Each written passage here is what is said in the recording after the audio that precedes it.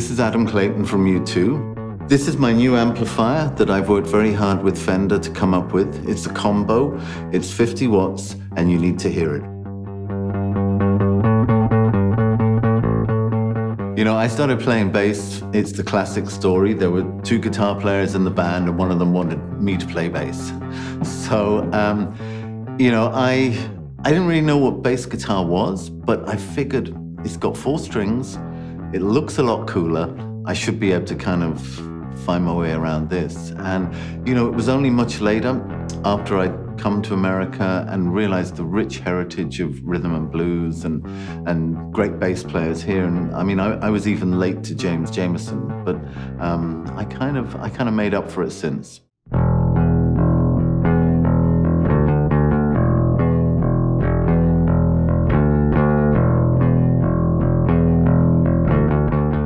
I developed this style just through thinking I was a guitar player to begin with. Um, when when I grew up, you know, I got my first little cassette player. You know, it had one little sort of four or five inch speaker and you couldn't hear any bottom end on it and it distorted really quickly. But I noticed that people like John Entwistle, uh, when I listened to Who records, I could really hear what the bass was doing. It would come through. And, and I realized that mid range was a bit of a, a bass player's kind of secret weapon if you wanted to be heard. Um, in the, I, I grew up in the in the days of punk rock, and you know the bass player became the star of the band in punk rock. You know, you you had the leather jacket, you had the bass slung low. That was that was about using your bass as a weapon, and and you had to have a sound that was also abrasive and would cut through. So again, I keep harking back to the mid range, which is what this amplifier is also about. Um, and it just, I love that distortion, and we've got some valves here that give us great distortion. So it's distortion and mid range for me with a little bit of top end just to kind of punch through. I think also when, when looking at the way the U2 sound grew, we were you know, we're, we're, maybe an unusual band in that we are essentially a three piece musical ensemble. And within that, Edge's guitar playing is very stylized based on these arpeggios, which, you know, sonically are kind of high up in the register. And whilst if whilst the bass has to fill that mid-range for, for him to kind of really support those sounds. So I've got a lot of room to, to grow my sound. If we'd been a bigger band with, with keyboards and stuff, I guess I'd have gone lower. And, uh, you know, I'm, I'm a big fan of some of those reggae sounds. I, I really love low end, but it, it doesn't work in U2 because um, I need to drive, I need to be aggressive. We don't have those mid range power chord things that a lot of other bands would have.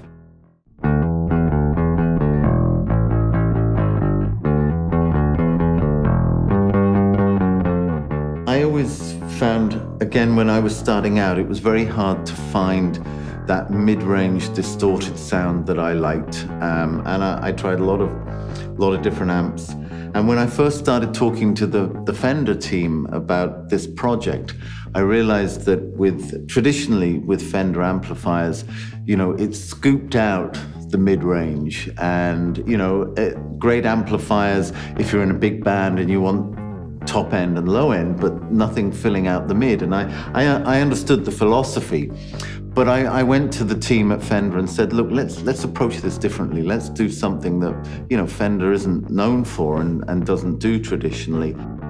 The fashion nowadays is is to move away from from valves, but I've always liked them. I think they give a warmth, and hey, if it ain't broke, don't fix it.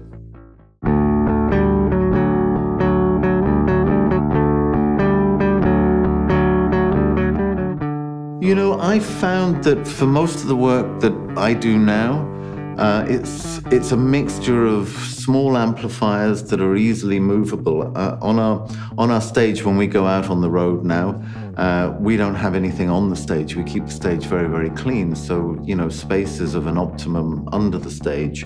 Um, myself and, and my tech Stuart Morgan, we like to set up a lot of different sounds on a number of different amps. So just so that he doesn't have to work too late into the night, we kind of opted for a, a, small combo operation where you know you can move things in and out, and it saves an awful lot on trucking. I'll tell you that.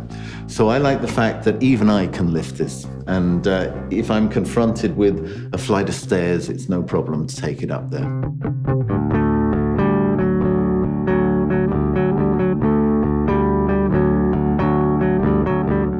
I knew you were going to ask me about the tweeter. Um, you know, I in when when I'm in the studio, that tweeter doesn't really add to the sound for me. Um, and then when I found I found that when when I went out on the road, and you you kind of inevitably you switch from a kind of hard wire to a transmitter. If, if I have a tweeter in the system, it gets very, very hissy and, and very hard sounding. And I just, I don't like that. I like a bit more warmth in the sound. So I've always avoided it, but I think, you know, I think you can get that, that, that high end out of a, a good speaker, depending on how you set your tone. Well, I like the fact that you can really, you can really select where that mid-range hits, you know, where, where you select that. And for me, I, I set I set up my sound for playing with a plectrum because that's where I need the most kind of high end to cut through, uh, and then I know if I kind of set the high end at about ooh, you know about a one. In fact, I set everything at about a, a, a one o'clock. Um, then when I switch to fingerstyle um, or play dampened with my thumb or something, the tone just kind of carries all the way through.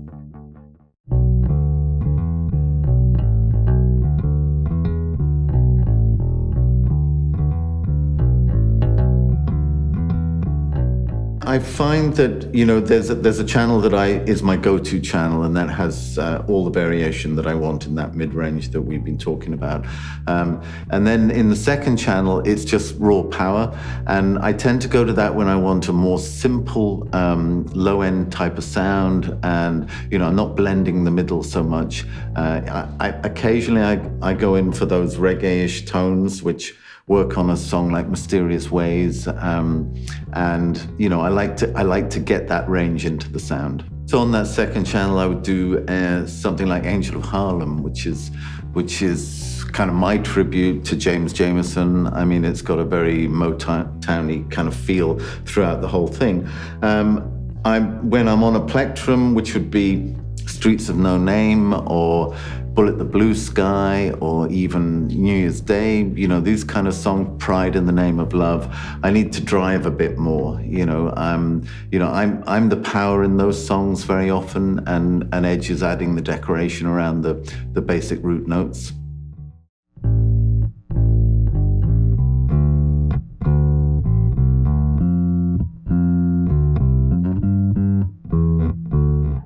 Primarily it's, it's designed for rock players. I mean, I, let's not make any bones about that.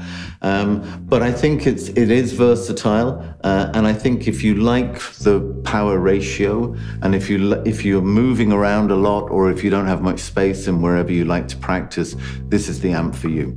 Well, I think the good thing about this amp is that actually we, we didn't veer too far away from what was traditional Fender colors and looks and everything. So when you first look at it, you don't realize how contemporary it is.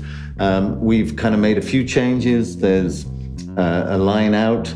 Um, we've improved the visibility on it, um, so it has that traditional look where it'll it'll sit nicely in a in a club environment. But then when I take it on tour and connect it up to our kind of live setup, I'll be miking it as well as taking the line out.